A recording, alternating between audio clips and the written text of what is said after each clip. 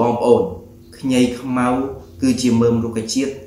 ដែលគេរកឃើញថាវាមានគុណប្រយោជន៍ខ្ពស់លើសគេក្នុងពេលបច្ចុប្បន្ននេះហើយខ្ញីខ្មៅគេបានយកមកចម្រាញ់ដាក់បញ្ចូលគ្រាប់វាគឺជាចម្រាញ់ខ្ញីខ្មៅសុទ្ធ100%ធម្មជាតិ100%បងប្អូនសាកស្វែងរកផលិតផលនៅលើទីផ្សារក្នុងពេលបច្ចុប្បន្នតាក់ទងនឹងខ្សែស្រឡាយសុខភាពដូចគ្នាតើបងប្អូន មានដែលឃើញផលិតផលណា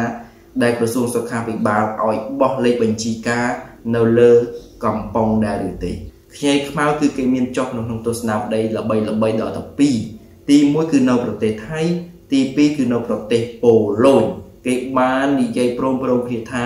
ខ្ញីខ្មៅនឹងវាពិតជាជួយដល់សុខភាពបានច្រើនមែនទែនហើយជាពិសេសគឺជួយទៅដល់អ្នកដែលមានជំងឺទឹកនោមផ្អែមកម្រិត2 បានយ៉ាងពិតប្រាកដគេបានចុះផ្សាយយ៉ាងច្បាស់ច្បាស់តែម្ដងបងប្អូនចាំខ្ញុំដាក់ QR code ឲ្យបងប្អូន scan ទៅអានបន្ថែម